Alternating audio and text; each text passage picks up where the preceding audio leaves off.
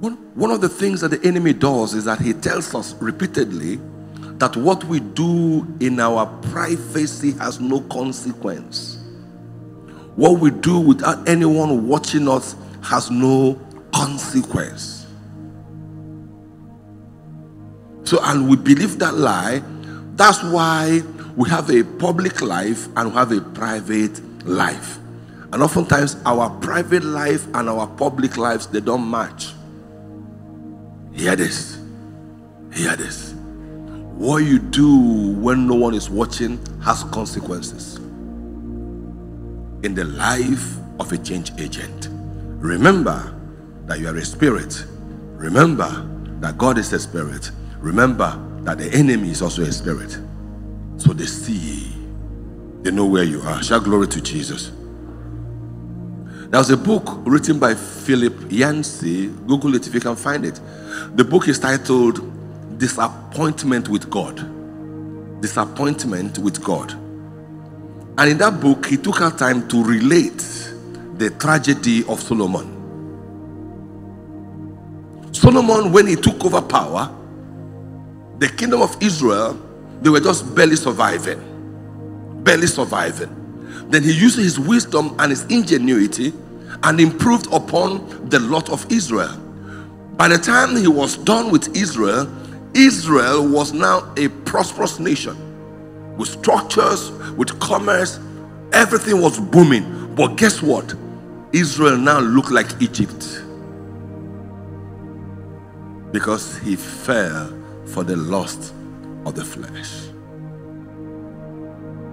When he, when he died, the nation split into different parts. Yes, he succeeded in building a prosperous city, but it looked like Egypt.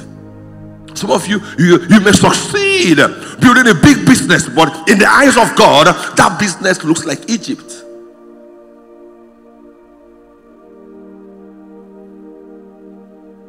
What men call success may not exactly be what God calls success. One more time, what you do in the privacy of your homes has consequences. Are you still here? Are you still here? The, the third trap is the trap of position. Is the trap of what? Position. Proverbs 22, verse 1. Even ministers, ministers fall victim every time of the loss of the flesh. You see a minister that he did a big program and people attended the program. You say, I must do the program. Meanwhile, God has not asked you to do the program. Sisters in church, you see a sister in church walk into church with a brand new uh, weave on or whatever it, or wig, whatever it is they wear, and you lose your peace. You lose your peace. You Say, I must have this, and because you say I must have it, you will do anything possible to have it lust of the flesh. You want to own everything, you want to grab everything. How much is enough? All these are politicians that are stealing all they are stealing. How much is enough? How much is enough? Our young men that are doing all these rituals, what for? What for? Because they have seen a picture that they like. They've seen the, the, the rock stars driving the big cars, living large, and that's what they want. And once they want it, they don't care who gets hurt in the process. Change agents, we are not like that. For change agents, the end does not does not justify the means. Rather, the means justifies the end. What you get is not as important as to how you get what you got. Pay attention. I know most of you are not excited, but I, I got to tell you the truth. The next trap is the trap of position. Position. The Bible tells us in Proverbs 22, verse 1, it says, A good name is rather to be chosen than great riches. Loving favor rather than silver and gold. A good name is rather to be chosen than great riches. Oftentimes, when we are ascending on our mountain of influence, power can be intoxicating. Power can be intoxicating. And the need, the desire, the desperation to remain in office, to remain on top, can be so overwhelming that we start to go out of our ways to do things to retain position. Sacrifices to retain position, killings to retain position, manipulating, backbiting, dividing the brethren in order to retain position.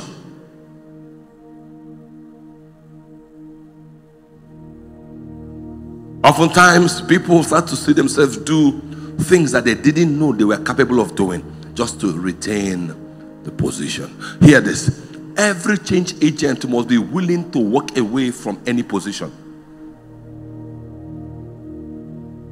Your life is not your position, position is not your life. If you want to live as a change agent, you must be willing to walk away from any position. Instead of you going contrary to what God has asked you to do, walk away. And when it comes to position and power, the best way to secure position and power is to release it.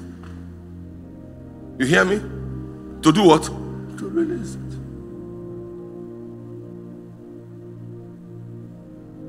I am not really a fan of Goodluck Jonathan. But how come they are not begging him to come back?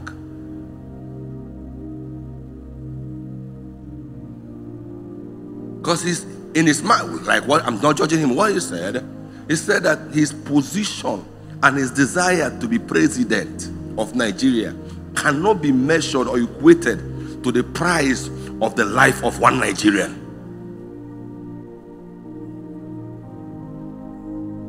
Most of us, if we're in that position, what, what will we say? Anna, I will say, Moses here. Ah, this position I must what? I must maintain it. So you see people who are in position and there's a threat to their position, they will commit higher crimes to retain the position.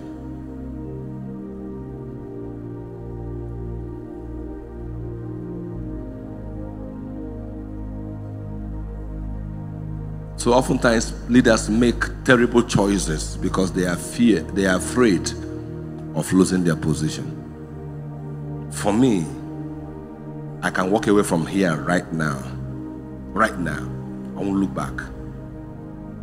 If I will need to compromise my faith, if I will need to compromise my integrity just to maintain my position here, I will walk away now.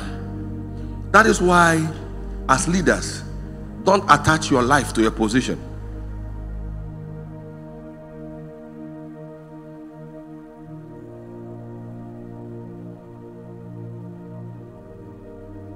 The reason why you cannot walk away is because of the things you have done to get it. And if you also know that you are bigger than your position, oh, a friend of mine, oh, well, he's one of my guys, when he left the church where he had been pastoring for 20 something years, and he left almost empty handed, he left empty handed. The church didn't, didn't do anything for him. And he went and started a new work, brand new work. And I went to see him. So he was telling me, see, uh, after all I've labored, I'm now starting afresh at this age. I said, Oga, you cannot start afresh. You cannot start afresh unless you did not work for God. If you work for God, you can't start afresh. He said, What do I mean? I said, If you are a manager in UBA, Aba. And God now transfers you, or UBA now transfers you to UBA Port Harcourt. Won't you go there as a manager? Huh? Your, your career continues from where you stopped, unless you were demoted. Are you still here? Now, if you understand that God owns everything and it's God that you're working for, instead of failing Him, you walk away. And when you walk away, you continue in the service. I hear what I'm saying? Don't find yourself in any relationship you cannot walk away from. No man is your God. Once you start to see men as God, you start to become anti God. You start to fight God without knowing it. One, one, of, one of the hallmarks of our faith is that nothing is permanent. We should be able to walk away from positions, from connections, from friendships, from relationships once they start to go contrary to the will of God for our lives. And that man, that, that man I was telling you about, in three years, God has done for him in three years what he couldn't do in 15 years from where he was coming from. In three years. He has built something bigger than what he left behind in three years. Our problem is that God is not real to us. If you discover that God is real, you will take real decisions for Him. Oh, Pastor, I can't leave that man. He's the one that is paying my school fees. So, because of school fees, he, won't not, he, he now wants to kill your destiny? Must you go to school to succeed? So, going to school is now more important than your worship.